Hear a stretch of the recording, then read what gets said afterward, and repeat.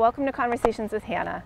Today I am at uh, the lovely town hall outside on a gorgeous day and I'm joined here by Sandy Wright, our town clerk, to talk a little bit about the expanded voting options uh, that people have uh, this fall. Um, as you know, Sandy, very well, the legislature at the end of June uh, passed a bill that expanded voting options. Um, you know, our concern was with the pandemic and thinking there was a second wave uh, potentially coming this fall, making sure that people had more choices on how to safely vote uh, in both the primary and uh, the presidential election in November. And that, uh, I think it was a good law. I voted for it.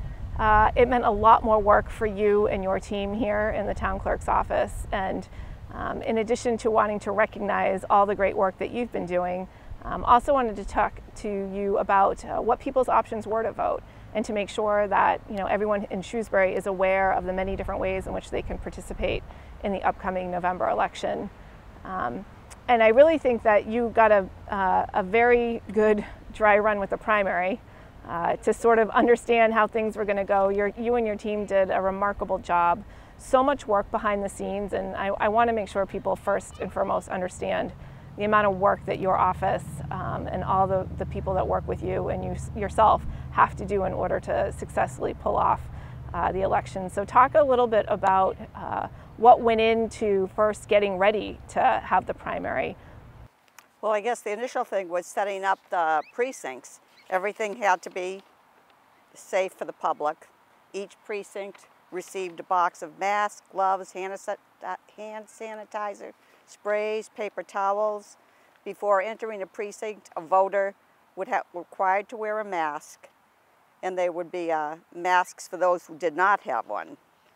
Uh, only five voters were allowed in the precinct at a time. There were six-foot marking distances between the voters, and the voting booths themselves were marked off. They were using every other voting booth the person that would check in their name and they'd receive a ballot and a marking pen. After they go went and voted, they went back to the checkout table to deposit their ballot and they would also deposit their ink pen, which again would be in a box, get sanitized. sanitized. After any voter left a booth, the clerks were told to go sanitize each booth. Um, periodically, the clerks would go around and wipe down the booths, the pens, uh, the bathrooms were only available to poll workers. No one could use bathrooms or uh, lunchrooms or anything. When the poll workers returned to town hall, they usually come in my office. But for the primary, we had them just come into the hall and uh, we'd collect their items there and then just have them leave if everything was in order. Um, and just everything was set up, distance, uh, social distancing apart. So it seemed to work out fine. The, the voters loved it. The precinct workers loved it. It all ran pretty smooth. But again, we didn't, we had a 70% turnout by mail for the primary. Only 30% went to the polls. So the polls were fairly quiet. So talk to us about what it means when people um, right now want to vote by mail. So, you know, traditionally people have had the ability to do an absentee ballot. They would apply to either in person or through the mail to get one from your office and get it returned to them, but they had to be for a reason. Correct. Just simply wasn't out of convenience. It had to be um, either you know some some medical issue, illness, or work related that Correct. you were not going to be here on the day of the election. Uh, part of the law that we expanded made it essentially a, a no reason uh, to want to vote by mail. So tell us about that process and you know one of the things that people probably saw um, should have everyone who's a registered voter would have seen is an application in the mail. Um, and they would have gotten this actually twice once before the primary in order to apply and then again uh, it, it, was already out uh, for the general election. So what does that mean? Somebody gets this then what happens? Well on the first one that went out it had two boxes. Uh, you could check off just for the primary, just for November, or both. For both, yep. The majority checked off both. The state sent out the second round that went out was only supposed to go to voters who did not check off the November. But a lot of people are, we're getting tons of duplicates. They're resending them, I guess, just to make sure. So well, they, they send that to us. We put them in, in, in the computer, log them in. uh, once we get the ballots, we're going to be packaging them out. We won't get them probably till October 5th, usually four to five weeks before an election, we get all the ballots. As soon as we get them, we start packaging them out. Then we'll mark in the computer that they've gone out to that person. If they vote and receive it, it gets marked that they've received it, that we've received it. That was another question about people uh, that requested an absentee ballot and then showed up at the polls. Well, if they showed up the polls, there is already a notation beside their name that they applied for an absentee ballot. The poll worker would in, in turn go to the warden and ask her, you know, to confirm this. The warden would call my office. If I had not received that back, that person would be able to vote in person by filling out a form. If I had already received it back, I'd say, no, we've got their ballot, it's, it's done, they cannot vote. And that happened as well with the expanded um, voting in person. So people um, could have received their ballot and mailed that back in. They could have also dropped it off um, at uh, your office. Yes. Um, and I understand that in the upcoming election, there's going to be another. Um, I ordered a, a, ballot box similar to the regular postal mailbox, and it looks like they were putting, setting something up down there for a foundation to, a block to set it on. So hopefully we should be getting that soon, and that's going to be, uh, yes, for ballot boxes only. Great, and so people will know that they can drop their ballot securely off there. But people also had um, the opportunity to vote ahead of time um, on, in an expanded number of hours that we haven't seen before in a primary. And so um, two of my uh, daughters voted that way, uh, came up to town hall, uh, and they were in and out super quick, uh, very easy process. But sort of explain if somebody wants to come in and vote early in person, uh, yeah. what that looks like. Okay, early voting schedule. The state is requiring us to do it for two weeks, and it'll include weekends. It's going to begin October 17th, and it's going to go through October 30. So October 17 and 18 is a Saturday and Sunday. We'll be open from 9 a.m. until 2 p.m. for early voting. Uh, the week of October 19 to 23 is just Monday through Friday, so it'll be our regular office hours. You can early vote from 8 to 4.30. October 24 is a Saturday. It's also the last day to register to vote. We will be open from 2 p.m. until 7 p.m., so you can register to vote or early vote. And uh, the 25th is a Sunday. We'll be open 9 a.m. until 2 p.m. Then the last week, October 26th through the 30th, we'll be here from 8 a.m. to 4.30. Now the building is still closed to the public, so all this early, that's the only reason it's open for is early voting. No other business can take place. Yep. And so people will simply walk in. Um, they will actually go right by your, the town clerk's window, yes. um, and they would line up and you have it marked on the floor. Um, and they'd go into the old selectmen's room, um, and then they're checking in electronically, correct? Yes, we have poll pads we've checked, which we used uh, the last two times. And we're actually, it was approved at town meeting to order them for all the elections. So next year we will be using those at the polls. But this year we're going to we have two more, so we will have four for early voting. And as I said, it was very easy. Uh, the, the girls were in and out of here uh, very quickly to come in and vote in person early. And, and that was a great option. Uh, at the time, neither um, one was aware she'd be at college and so came up like on the first day of early voting to vote in the primary. The other one thought she would be home and then her schedule changed uh, and realized that before she left, you know, she needed to run up and vote. So both were great options. It did, it ran pretty smooth like I said, we had, uh, what did I already mention, we had 7,500 that came to the vote early at, right at town. No, that was by mail, excuse me, by mail. 500 came to vote early. And then the remainder, 1,800, went to the polls. And uh, that was a record turnout for a primary in Massachusetts. I, am not sure it was a record turnout, but it was a. Uh, I think since 1990, maybe it was. Uh, that's uh, right. I did send some statistics out. Yeah, we don't usually get big turnouts for primaries. This election, we already have probably of 11,000 applications for ballots by mail. And how many voters, registered voters, do we have in Sandy? Approximately 24,000. And uh, we're expecting to see uh, in total voting for the presidential election Well, in, in 2016, we had an 81% turnout. I, I think this one's probably going to be higher. It'll probably be in the ni- 90s. And that has happened before. And one thing that the voters who did vote in person when they went to vote um, noticed that they're, uh, unlike in past elections where you would both check in and check out, one of the provisions in the law that we passed uh, enabled us not to have a checkout uh, person. And, and, again, part of that was a concern for making sure we had enough poll workers. Uh, again, being unaware of what uh, the situation on the ground would look like in November relative to the pandemic. And certainly, um, you know, many of our, our poll workers in past years have been people who have retired uh, and want to give, but they also may be in a higher risk group. And so, out of concern and caution, uh, that was. We did go with a few, uh, at least one extra poll, poll worker in each, one less poll worker in each precinct. And that law for the checkout is just a temporary till the end of this year. Yes. Yeah, there were a few temporary changes just for this year. The voter registration deadline is usually 20 days before an election. This year, it's 10 days before the election.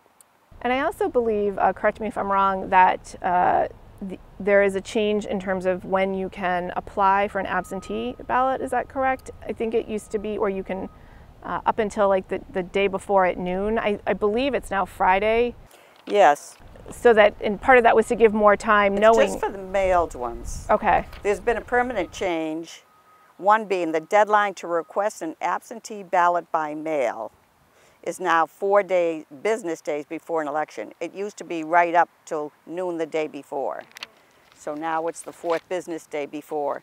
But absentee ballot request in person to vote in person is still the same. Okay. You can do that up till noon the day before the election. And if somebody uh, is voting by mail, uh, their ballot, it, it, must be postmarked by 5 p.m. on November 3rd, election day. Correct. But it can be received up until November 6th, I believe, at 5 Correct. p.m. November 6th, 5 p.m., exactly. And that's probably because all the slowdown in the post office, people receiving mail at a slower rate. Right, absolutely. And again, you know, an unknowing of what the pandemic would look like uh, in November and not knowing what the impact would be on the postal system, uh, it was a precautionary move. We didn't seem to have any problem in Shrewsbury, but I know other cities and towns did. That's great. Um, and then, Sandy, on the ballot, um, people will be coming in, and, and sometimes there are local questions, and, and there are two local questions. And sometimes that means people get handed two ballots, either a state or presidential ballot and a local ballot. This year we do have two questions, but it's all on one ballot. So um, people will be uh, responding to be asked if they want to vote on four questions. Two are statewide, question one and question two. Uh, question one has to deal with the right to repair, and question two has to deal with ranked choice voting. Yeah. Um, and then question three locally is the question about uh, building a new police station and funding a new emergency communication system. And question four, I believe, is the CPA ballot question. Right. And it is all on one ballot. Yeah, which will be a change. If you voted in 2018 at the presidential, you got two ballots if you uh, requested one to vote on the Beal uh, question. Kevin had asked me that, and I called the state, and they just informed me it would all be on one. That's great.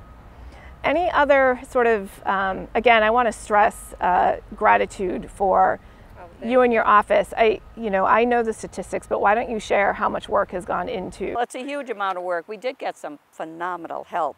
The packaging was the was a tough part, doing thousands and thousands, especially for the primary because you're packaging different ballots, Democrat, Republican, Green Rainbow, so you had to be aware of when you're packaging it that you're putting the right ballot in the right envelope. Um, we did have some great people working though, so that helped. The other thing is all those applications you got, what we have to do is um, we have to input them into the system individually, each one. And then we have to, we sort them by precinct into a box. And then as we go into the computer and mail them, we'd, be, we'd mark them that they've been mailed and it gets marked in the computer. All the ballots, once we send the ballots out, they all come back to us and we have to do the same thing. We have to put them by precinct in order because they're going to go out to the polls. We don't process them here. Everything gets processed election day at the polls. So we deliver each precinct thousands of ballots.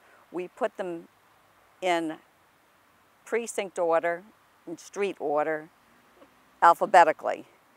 And again, you're talking, you know, thousands and thousands. And then they go to the polls. We have our voter list set up so that when the poll workers receive it, everyone, there is a notation. If anyone applied for an absent voter or an early voting ballot, there is a notation beside their name. And that's the process they use when they, it, unless there's an X already in there. See, we print the voter list. We try to do it as close to the election as we can, but it's so long, the voter list. For the primary, we did it on a, I believe, a Saturday. Yeah. And so Sunday and Monday, ballot uh, requests are still coming into us.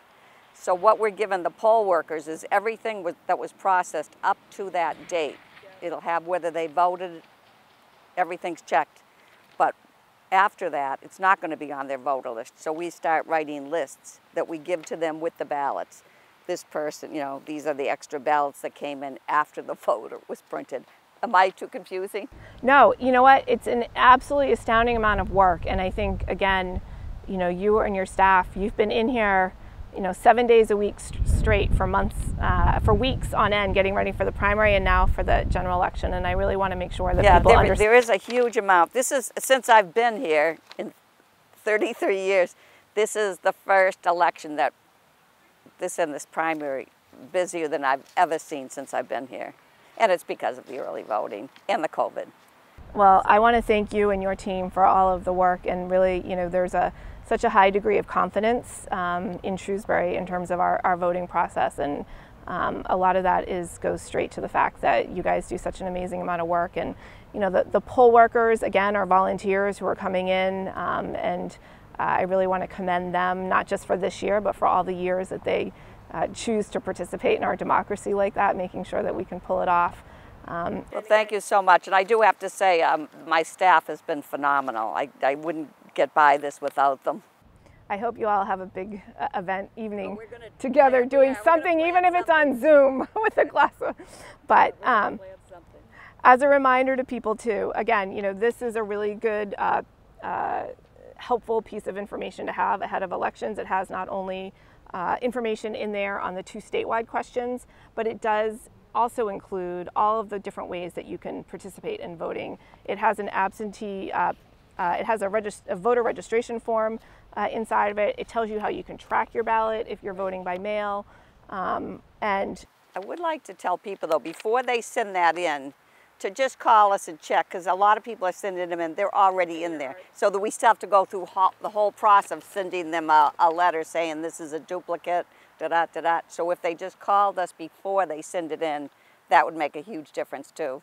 That's a great, good suggestion. And, and your office is also not just working on uh, voting issues. You're still, oh, no, still open. I know that you have a way to set up um, a time to come in and uh, a, a, dedicated time. So again, from a COVID precaution, right. uh, an appointment.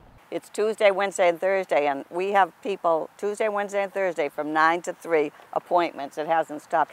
Actually, most of the office are on reduced staff, but he, the town manager gave us permission to have the whole staff back because it was just getting too overwhelming. Well, thank you, Sandy. Thank you. And we appreciate the work you do. Well, you know what? It, it's a great town, and I think that we all take very seriously uh, the responsibility that we have uh, to be part of um, the, the, community effort to preserve our democracy and to make sure that people are aware of the options open to them. So, uh, thank you to you and your team, and uh, we will I'll be by uh, as usual uh, to say hello on election day, a ritual, um, and to thank folks. But uh, we're looking forward to uh, an election which we may or may not know all the results of on November 3rd definitively. Uh, so people please have patience. Uh, it is not an issue of lack of hard work here on this end. there's a volume question to it all as well. So thank you, Sandy. Thank you. So I'm here this afternoon on the town hall lawn. Uh, we just spoke with Sandy um, from the town clerk's office, Sandy Wright, who sort of gave an overview of the expanding voting options uh, coming up before the presidential election. Um, and we touched on quickly at the end uh, that the fact that there's two local questions that are going to be on the presidential ballot. And one of them is uh, regarding uh, the question of whether or not we as a community uh, want to replace our uh, police station uh, and to uh, put into place a new emergency communication system. So I'm uh, here on the lawn with uh, two people who know uh, this issue very well. Uh, a recently retired uh, Sergeant Chuck Pratt, Thanks for 33 years with the Shrewsbury Police Department. And how long ago was I at your retirement party? A year and a half ago? Actually, no, just a year. Just a year a last year? week. So just a year ago, we enjoyed your retirement party. Uh, Dave Hodgeny, who was 32 years as a Shrewsbury firefighter. So I was joking earlier, there's a combined 55 years between the two of you uh, of service to this community on the public safety, which is absolutely phenomenal. And so first and foremost, thank you. Thank you for having Um, us today. And uh, the three of us are, are sharing some time together today to not only talk about uh, this question that's before us, uh, but we're also working to actively support it. Uh, we are part of the community supporters uh, for public safety. Uh, Michael Hale, uh, former, just recently retired, I'm surrounded by retired people, uh, general manager of Selco, uh, is chairing our committee. And we're really focused on making sure that the public is aware of the question and what it means.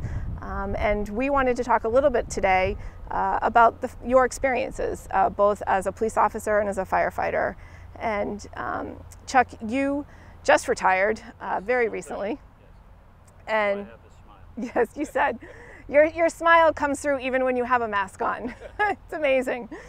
Um, but you have a, a, long career here and have really um, understood uh, the building deficiencies, um, but also as that relates to the changing in policing. Uh, certainly, when this building was built in 1971, it was built with a, a mindset of what policing looked like, as well as uh, being really built just for the moment in time. So it didn't envision, you know, a tremendous amount of growth in our community, which we've certainly seen over the years.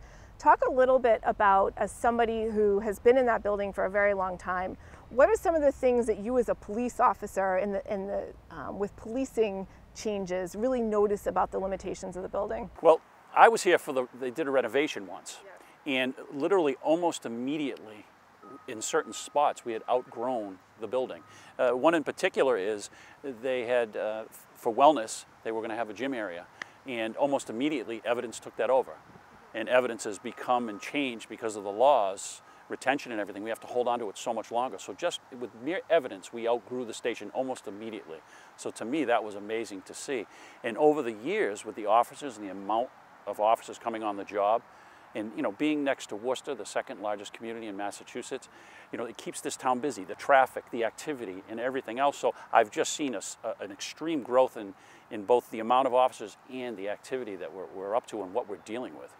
And one of the things I know from having visited the police station um, at various times, uh, having toured it as a finance committee member, but also having visited to, to sometimes meet uh, and talk to uh, police officers about some of pending legislation and getting input, um, and also just coming as a resident who may have needed a service. The lobby is extremely small. Um, you walk in and the dispatchers are the ones, and they're already incredibly busy. And I know a bit about the dispatching because my brother uh, served as a dispatcher for uh, a period of time uh, and greatly enjoyed you and your sense of humor uh, when he was in that role. Um, excuse me, but um, you know, so people walking in, they're not walking in and greeted by anyone who can immediately respond. You know, the dispatchers need to do their very critical role of answering the, the calls and, and sending out information.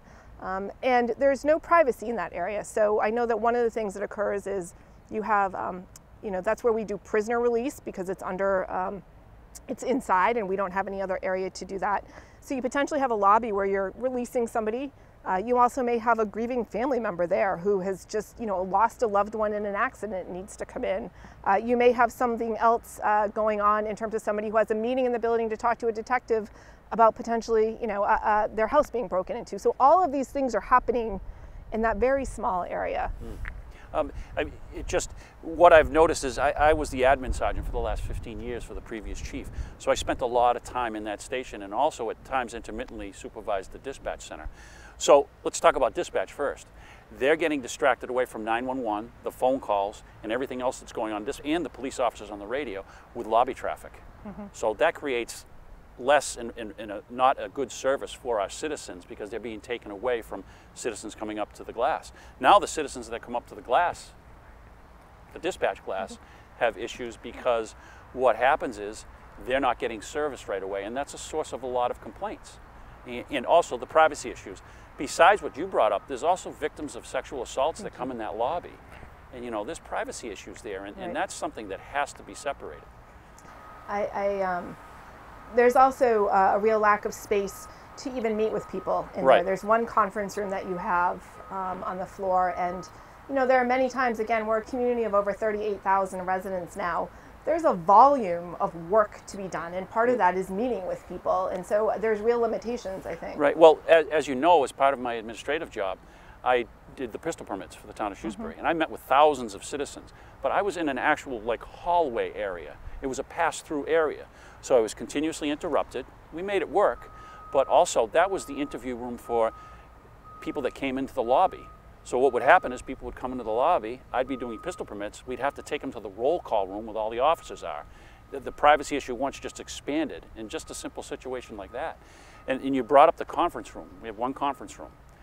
The command staff now at its size can't sit in there as a whole. So the chief can't have a command staff meeting. That's, to me, outrageous. You Right. have to have a room where you can uh, hold your entire command staff and communicate what's going to go to the troops and the other police officers. And you touched on it a few minutes ago. I mean, again, another one of the things in 1971 that was never envisioned, uh, or even in 1996, I would say, is um, the, the traffic in our community and the fact that we now need to think through, and, and the new building has space for this in the future, whether or not we need a traffic division who's really out there devoted to, you know, making sure, again, we have a busy Route 20, we have a busy Route 9, we have a very busy town center. I mean, there are a number of places in our community where, you know, we need to have folks who are out there and, and it can't be, they can do traffic as long as they're not at another important call. Um, and so, again, this building uh, allows for that, you know, thinking about what is, um, what do we need to look like in the future. Th- There, there isn't a spot for a traffic division, period. There isn't anything there. That'd be great. And, and, and why I think it's important, the number one complaint the chief, lieutenants that we got, especially when I was in charge of the patrol division, was traffic complaints. Mm-hmm. As much as people don't like getting speeding tickets, Right. they want radar and traffic enforcement throughout the entire town. So that it's important to address that, and that'll help satisfy the community response. You know, the community's questions to that. Also, the transient traffic. Shrewsbury itself is a relatively small town, 35,000, maybe more. I'm not quite mm. sure. But the transient traffic from Worcester, Framingham, Marlborough, all that's coming through for employment purposes is huge. Yeah. So during the day and evening, you know, it, it's it's increases eight tenfold the population, and it's mainly traffic.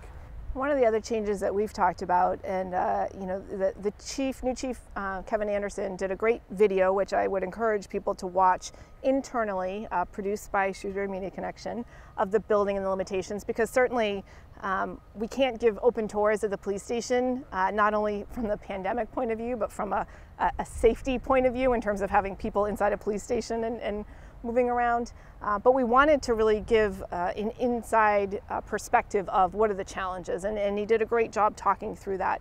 One of the things, and you and I have talked about this, um, the changing in policing, it's not just in terms of procedure and policy, and um, it's also in uh, who is joining forces and, and wanting to serve as a police officer.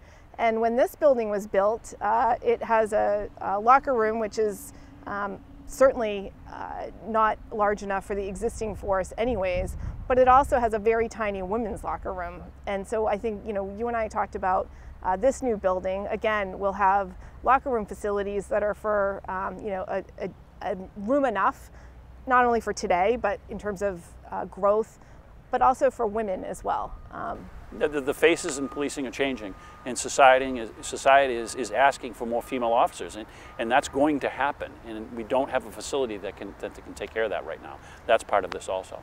As somebody who has a daughter who's a first year studying criminal justice at Endicott College, I'm very happy to have. Another thing too, and, and uh, Chief Anderson had brought this up, and I personally experienced this. There's one bathroom for the male officers and one for the female. Just think about that. There's Right. almost 50 offices, if you include specials at time during the day, in and out of the station. That you know, I don't even want to go any further with that, but that's just something to think about. And the shower that's in there is inoperable, so we don't have a shower facility. And, you know, officers get involved and they're, they're getting, you know, at motor vehicle accidents or whatever. They might get exposed to, to mm-hmm. things or get dirty in a, in a chase, a foot chase through the woods or whatever it might be. And there's no ability to clean yourself up after. And I, I think that's something that should be addressed also. Yeah, it's a, a health issue in today, in, in today's infectious disease and everything else. So the one other um, you know area that I think is important to touch on um, is the fact that um, you know, the you can't meet not only as the, the command level staff, you cannot have, you don't have enough room, especially with COVID going on, to meet uh, at uh, shift changes, and so you're meeting in the garage, Yeah, which yeah. is when not, I left, yeah. when I left the police department, we were conducting roll call in the garage area with the doors open, which kind of, uh, come winter, I don't, I don't know what's going to happen right. there. The the um, and and additionally, something that you think is very important is training. And right now, you know, we're unable to use this facility for any training. Policing in today's day and age is changing. Let's face it, and in society's making demands, which I agree with. Yeah. We have to move forward and to, to, to have a more professional police agency, to be trained properly in the use of force and, and, and also in the de-escalation process. That requires regular training, not an off-site building that we go to and try to get the date together and get it all going. It's very complicated and difficult. Even equipment-wise, to get the equipment there is hard to do, besides getting the personnel there. It has to be held within the station in a training facility. That's the best way to train our officers. Yeah, I think that's a really critical piece, and um, you know, I'm very hopeful that folks will take advantage of every opportunity to sort of learn more about the police station aspect of the question that's going to be before us. But there's an important reason that we called ourselves community supporters for public safety, and that was in recognition of this is not just about a building. Um, it is also about our emergency communication system, which impacts certainly not only police, but fire uh, and Selco and DPW. And so, Dave, you know, this is something that you felt very passionate about uh, over the course of the last number of years. Uh, we're dealing with a system that's 25 years old. If you stop and think about um, 25 years ago, I mean, just look at your cell phone. You know, 25 years ago, not everyone even had a cell phone, but if they had it, it was as large as my brick, purse is. a bag, Yeah. bag phone. Right. Bag and phone, so yeah. that is the age of the technology that we're using right now. We can't even um, fix it. They no longer manufacture parts. Um, and you know, the only blessing we have sort of in this community relative to that is that we have two incredible individuals, uh, Joe Mylish, who's a firefighter, and Dave Fosher, who's Dave a police Fosher, officer, um, who have done amazing work, not in their job description, to try and keep the system running. Um, and you know, absent that, you know, this is a very serious situation and a very critical component of the question before us uh, in November. So, Dave, talk a little bit about you know your experiences as a firefighter and, and what having the system that we have here right now has meant. Well, over the course of my lifetime here, uh, it's it's always been a problem, but you know, you always thought like uh, they've always done things like to try to band-aid it, like like the, we'll get get something to try to make it a little bit better. But it, it, it, what it all comes down to is the same thing: is it's just it's static most of the time because we have a lot of brick buildings in town, and when we go to those from uh, you know for, for alarms going off or something, when once you get in the building, you can't even talk to each other. In, in this day and age, because you know the, the fires and stuff that they have, they're not as like they used to have, but they still, you know, the guys, it's it's a safety issue, you know. And I've been I, I retired a year ago, and we had a meeting with the chief one day, and uh, I had said to him, he was talking about different things that he's doing for the fire department, which was phenomenal. And I said to him, I said, everything is phenomenal, but for one thing, we need a new radio system. And he says, I know, but it's it costs money, and we can't just, you know, just get it. We that needs to be something we need to get together and, and try to get it done. Because I remember a couple of years ago, it was in New Hampshire, on the on the TV. Same thing happened to a town. It was a, a, fire chief got on and said, listen, they had to have it as a as a you know uh, a, it, you know to vote on because the same thing. Everybody's on the same frequency and stuff. And they did. It was passed there, and it and it, it made a big difference. So I mean, it's it's it's it's up until the day I retired a year ago. I had said to the chief, I says, you know what's the sad thing is, and this is how things happen sometimes. It's like almost like somebody has to die, seriously, for something to be changed. And I had said to the chief, I says, it's probably going to be me. The luck I have, I said, because we were going to, like I said, going to these buildings. There's a building, State Street Bank. You think you've probably been there before? At the, at the bottom of a. Uh, secure. Yes, it's, it's unbelievable, this building. And you cannot talk at all. Somebody has to be outside. And even if somebody's outside, you know, we've gone there for like just, you know, for uh, inspections and stuff. But if something ever really happened inside that building, where everybody in the building is like, you better be together because if you separate, you can't, no one's going to know where anybody is. And you certainly touch on the reason why this question is before us as um, a debt exclusion, part of this public safety question. Uh, it's a $5 million investment. It is not a, a small uh, chunk of change. Um, it's a critical expenditure, but were we not to do it through a debt exclusion, it would be impossible for us to find $5 million in our operating budget to do this. The other reason it's uh, critical timing is that when this uh, radio system uh, goes in, you know, it has to be installed into a, a building and also uh, have a redundancy. The system would be installed into this new police station building, uh, and, and, we're building it with that in mind, and also with the, the notion of moving to a central dispatch. Um, so not only, you know, is it make sense to do this as a, as a debt exclusion, but you know, clearly we know the need is there, and it makes perfect sense in terms of timing to move forward and do it. So we're doing this as the new building is being constructed. And then the redundant uh, end of it to make sure, God forbid, anything ever happened, you know, to a, uh, one building, right. you have it in another. You know, the fire station would have that second um, redundancy to it. And right. so, um, you know, you, you also touched on another critical element, which is it's not just internal to buildings. I know where there's dead spots in town you know, there are just some areas in town which you do not have the ability to communicate. Dean Park, for instance, if, if you're on your phone right now, if we were talking, you, I would lose you right now because it just, there's nothing down there that, you know, for the, uh, the phones, the towers and nothing, you know, it's just, it's sad. Yeah, I mean, I know that as a, a cell phone user yeah. because literally, uh, you know, if my husband's on the phone with me, he'll just say Dean Park, and I'll know that I'm not going to hear him for 30 seconds as he passes by the. Um, but you know, tell us about some of the instances. I know from talking to um, Aaron Roy uh, that you know there have been times when he has been communicating to uh, firefighters going on a scene, and you know he believes he's communicating. You know he's speaking. Right. On the other end, all the firefighters are hearing is static. So you don't even necessarily know that what you're communicating is not being received. Well, a, a, an example is uh, Coolidge School, uh, just before I retired, we were doing an inspection and uh, the captain was probably about 35, 40 feet from me and he was telling us all where to go inside the building where we're going to do the inspection and you know do the uh, fire alarms. And I read his lips, but all I heard was just static. And I'm like, he was, we were outside. We weren't even in the building yet. I'm like, so if this had been a, a major thing, well, what if the kids are in the building, it's full of smoke, and we need to talk to each other to get, get people out of the building? That would have been a, a you know, a catastrophe. And it's that emergency situation too, where not only do you need to be able to talk, you know, a- among firefighters, you also need to be able to communicate between police, fire, and right. other times, you know, Selco and DPW, depending on what the nature of the emergency is. Right. Certainly a, a, natural disaster, right. sort of, or large scale, you know, incident in our community, which requires multiple responses to. We don't have a system we can rely on that we know we can communicate. I mean, I personally think of a, a large-scale incident was the ice storm. I believe it was it 2008. Was it 2008? That that involved every single agency in town, yeah. and communication was awful. Yeah. And you, you, end up resorting to your cell phones. That's yeah. that's unacceptable.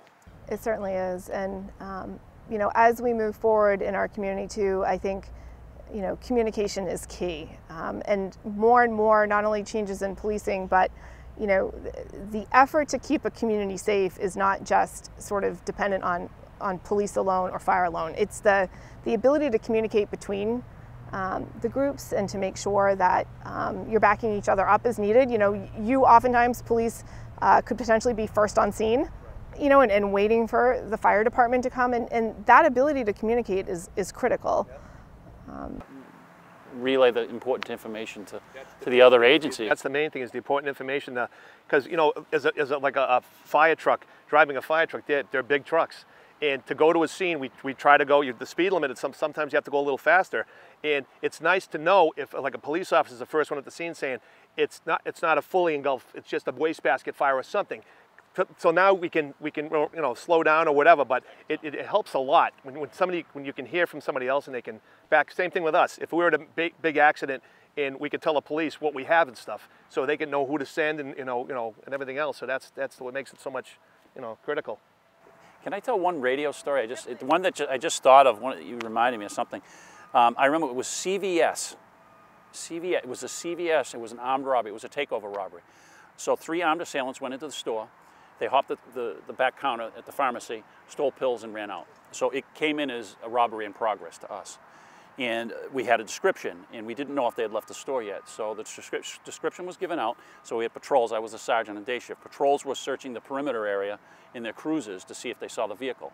Myself and Officer McGinnis, and he was a detective at the time, Detective McGinnis, ended up at the front door of the store. And what we did is a cursory search. We did a search of the building. I had my AR-15, my patrol rifle, and also Detective McGinnis was there armed. And we did a search of the building. I mean, obviously the people in the store were very shaken up. Uh, we found out, thank goodness, the assailants had fled the scene and left. But once I had cleared the store, I was still in the store. And I remember I, this always stuck with me. I, I went to go clear in the radio. Everything's okay, 10-4, da, da, da, nothing. Several times I did that. I had to walk outside the building and clear myself from an armed robbery call. And I've never forgotten that. And if you can just put yourself into a police officer's shoes, right. you know, what if it had gone down in that store? What if I had come across the assailants? Yeah, what if they're still in there? It's all right. And, and, that, that would have been deadly. And, yeah. and that's, that's a story I'll always remember when it comes to radio issues. And since then, there's been hundreds. And, and I, have to, I have to say something about Dave Fosher and uh, Joey Milos. They've been picking away at that system for years, piece by piece by piece, because they only have so much money and certain right. equipment to work with. Yeah. And, and it's time it's time.